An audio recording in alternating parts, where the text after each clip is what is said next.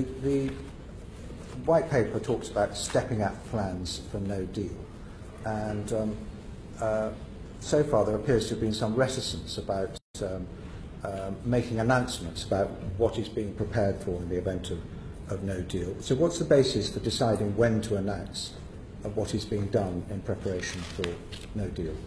Well, I think, I mean, there are two, uh, two um, approaches that we, or two aspects that we've looked at. The first is obviously the work that needs to be done uh, by the government in determining the uh, preparations, and then the second is the point at which it is important to be able to ensure that others outside government who would need to be involved uh, are able to have the information that they need. I was going to um, look, we're not yet on the, uh, uh, uh, the debate later this afternoon, but the Secretary of State for exiting the EU will be um, setting out today that over August and September we're going to be releasing a number of technical uh, notifications um, to set out what UK citizens and businesses need to do in a no-deal uh, scenario, so making much more public awareness of the, uh, of the preparations. Um, we imagine there are going to be around 70 of those technical notices that, would, uh, that will be issued.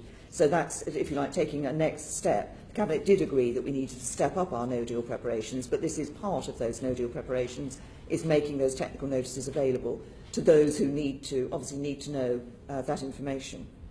Thank you. So if we're, um, uh, you've ruled out the, the option of negotiating an FTA with the European Union because they won't negotiate with us on the basis of the, without the backstop. They won't countenance an FTA without the backstop. That's correct, isn't it? Well, yes, if I may just, but this is where language is, um, is important. Um, we, that if we say, if we talk about a free trade agreement, then the European Union has a single concept of what a free trade agreement is. Mm -hmm. So it's like Canada, that's a free trade agreement. What we're talking about in here is a much wider and more ambitious overall partnership with them. Mm -hmm. So obviously, as it, as it, at its heart, is a free trade area with the, with the EU. Um, but that's why we don't use the, word, the, the term free trade agreement. But you're right, the two options that were on the table from the EU were on the one hand EEA plus free movement, customs union, um, and which I think would, yeah. would not I, I reflect the vote. And on the other was a free trade agreement that actually was less good than the Canadian free trade agreement, but with effectively the border down the Irish Sea. One of the reasons you've given for not going for a Canada plus plus plus free trade agreement is that they won't negotiate with us on the basis of, the, of, Northern Ireland remaining in the same customs area as the rest of the United Kingdom. They won't do that, will they? they the, their proposal was for a free trade agreement which, which actually split Northern Ireland off okay, so if we have a WTO Brexit, with or without an agreement, a, a withdrawal agreement, can you give us an assurance that it will be on the basis of a WTO Brexit that is for the whole of the United Kingdom and there is no question of splitting Ireland from the rest of the United Kingdom under those circumstances? Well, I have been, um, uh, I've said on many, many occasions that one of the uh, targets, one of the aims that I have in relation to uh, the negotiations that we have is to ensure that we retain the United Kingdom together. Uh, I believe that is important. I believe our union is very precious. So I will certainly be working to ensure that we are able to maintain so keep the, the United Kingdom so, okay, together. That, that As I said in, in response to the earlier that, questions, that's fine. In, an, in a no-deal scenario, of course, we will have to consider what action yeah. we take.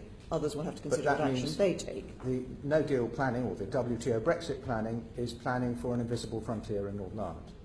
The uh, planning that is taking place at the moment, the issue of, as, the issue of the, uh, what happens in relation to that is an element that we have to, to be looking at as we're undertaking the no-deal planning. Yes. The preparatory work that is being undertaken um, is being undertaken across a whole range of departments okay, and a whole range of ways. Simple, but we have, but well, it, uh, and, I'm, and I'm, I'm, I'm being careful in, in, uh, in, in answering uh, because I've already answered a question but like this, is, and I don't want there to be any misunderstanding between the answers that I'm giving to the same question. But is, is the government planning for a no frontier, invisible customs frontier in Northern Ireland, because you have to. That's part of the no deal planning. As we look at the no deal planning, one of the elements, one of the issues that we have to look That's at is, yes, is, is one of the elements that we are looking at as part of our no deal planning is that whole question of, of the border in Northern Ireland. Okay, I don't think we're going to get any further on that one. Um, and for matters such as the regulation of chemicals, aviation safety, food safety, and indeed medicines, which the House of Commons voted on yesterday, presumably planning, no, no deal planning includes draft legislation in order to provide for regulation of those products in our own market. And when are we going to see that legislation? No, no deal planning will um, in, does involve looking at the uh, legis any legislative requirements that are needed for these points. There is, um, I don't have a timetable for that, those legisla any le required legislation at the moment. We have already put through some legislation that is relevant in a no deal scenario in terms of our, our preparations um, for uh, leaving the EU. Uh, the, the, but there is work that is undertaken, for example, in, in the relation to EASA, in terms of ensuring you would be looking, for example, uh, there at prob possibly, probably a set of bilateral agreements, I agree. um, and the Department of Transport is, is looking at that. But I mean, uh, um, we will have to probably use the provisions under the withdrawal, EU Withdrawal Act.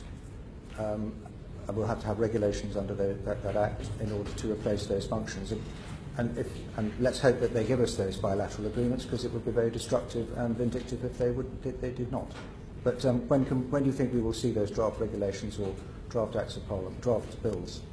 Well, there are some of the. Um, uh, uh, look, there's going to be a whole range of um, exit. Uh, uh, there'll be a whole range of legis- uh, primary and secondary legislation that will be being brought forward over over time. Obviously, there are a number of, um, uh, as I said, we've already passed.